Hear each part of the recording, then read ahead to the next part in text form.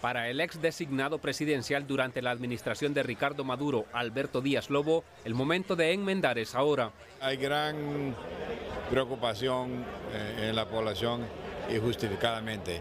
Yo creo que tienen que reflexionar, sentarse de nuevo y hacer revisiones, porque no, no puede ser. ¿Derogarlo?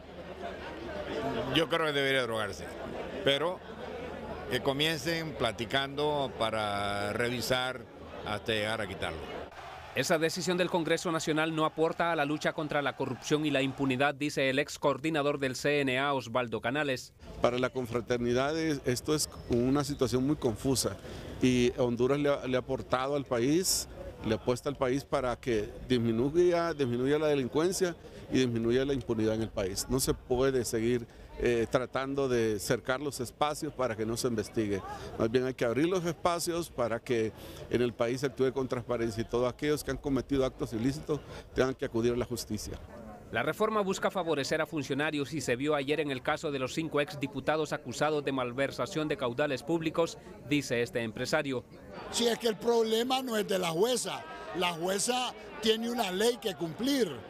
Entonces, quien debe de derogar ese decreto es el Congreso Nacional, porque creemos que atenta contra la impunidad, atenta con la impunidad y con corrupción. No podemos caer en eso. Tenemos que derogarlo como nación hondureña. El diputado de Libertad y Refundación, Harry Dixon, asegura que están dispuestos a apoyar la derogatoria. Bueno, nosotros no tenemos el control del Ministerio Público ni estamos en la Junta Directiva. Tendrá que ser una voluntad política del señor presidente, de doctor Mauricio Oliva Herrera. Pero los 30 votos de la bancada Libertad y Refundación están listos para votar por una derogatoria, porque este artículo es inconstitucional y atenta inclusive con el mismo derecho penal. La reforma a los artículos 16 y 131A de la Ley Orgánica de Presupuesto fue aprobada el pasado 18 de enero por el anterior Congreso Nacional.